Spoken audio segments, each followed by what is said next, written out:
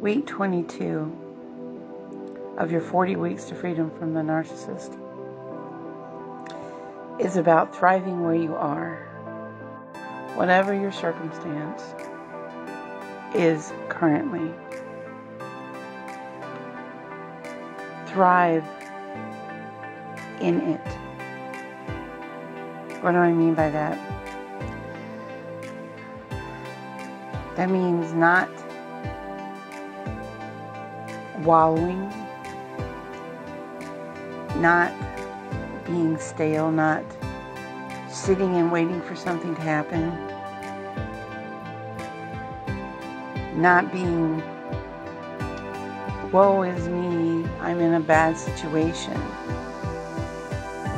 That means basically picking yourself up by the bootstraps and going, okay, yes, I'm in this situation or I've just gotten out of a bad situation.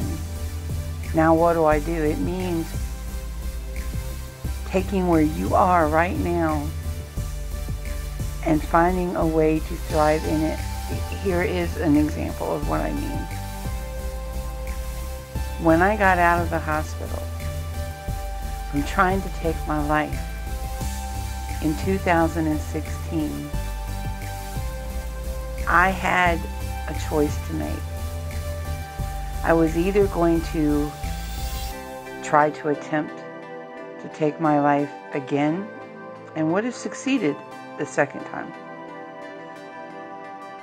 according to the psychiatrist. And I was going to just wallow and do the woe is me, what is happening to me, look what just happened to me, I've been abandoned, and give up. Or I was going to, okay, this sucks, but I can't stay in this situation. I can't mentally or physically stay in that dark place. It happened. Now where where do I what do I do now? Which way am I going to go? I chose to thrive. I chose to find out well it all started honestly with me rebuilding my relationship with God. I chose to create a vision board. I chose to, I knew that I had to find a way to make an income, so I started my daycare. And by choosing to thrive where I was and make decisions that would positively impact my situation, things began to change. My living situation got better. I gained income. And now I have been running a very successful in home daycare business for almost seven years. Because I chose to thrive where I was. But you don't understand my situation, Dreama.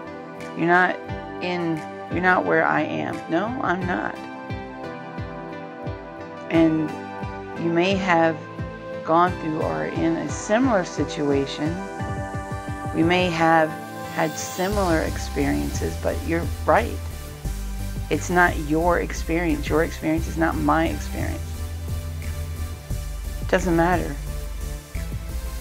You have a choice to make. You can thrive where you are, or you can give up. And giving up might seem like the easier choice, but it is not. Looking back at that very rocky road that I was traveling, that I was walking on, and seeing how it smoothed out and how how it got easier to walk. Kind of like an exercise regimen, I guess. Very difficult at first, but then you build up a tolerance, right? And it gets easier and easier. Kind of, little, kind of, sort of like my personal situation. I can look back and see where I made the choice to thrive and where I am today. And it has been hard, and some days are still very hard. But I'm still glad that I made that choice to thrive, and every day I have to make the choice to thrive where I am and make decisions that will positively, positively impact my situation and my life. You got this. Choose to thrive.